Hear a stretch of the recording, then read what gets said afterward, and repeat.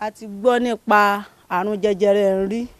a sì mọ irú àrùn tí ń dálẹ̀ torí rẹ̀ ni mo fi ní kí ọmọ mi ó lọ gbà kọ́ mọ̀ bá mú ọmọ mi.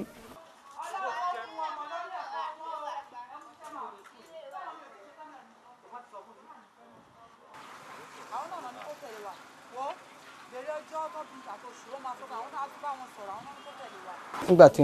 àwọn elétò ìlera débí báyìí tí wọ́n sọ pé àwọn fẹ́ fún wọn lábẹ́rẹ́ yẹn mo béèrè pé kí ló ṣiṣẹ́ fún nígbà tí wọ́n dẹ̀ explain àwọn tó dìrọ̀ mọ́ ló jẹ́ kí n gbà láti jẹ́ káwọn ọmọ mi lọ ṣe.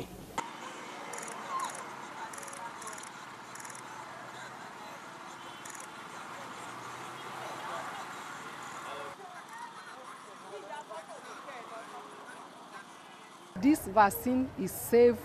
and it is uh, it doesn't have any negative effect on the girls because there are some rumors going around that they want to reduce the facility, uh, fa fertility of the girls. But we have been uh, educating the parents that this vaccine is safe. The only thing it does is it prevents cervical cancer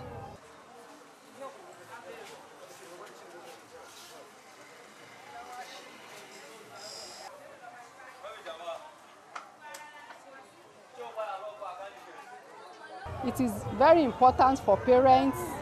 healthcare workers and government to come together to work to make sure that the girls are vaccinated against uh, cervical cancer. Because as we know cancer is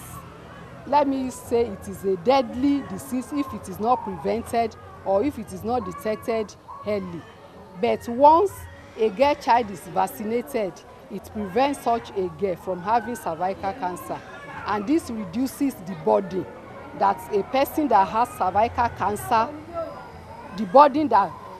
anybody that has cervical cancer will put on the family and the the government as well as the health care workers.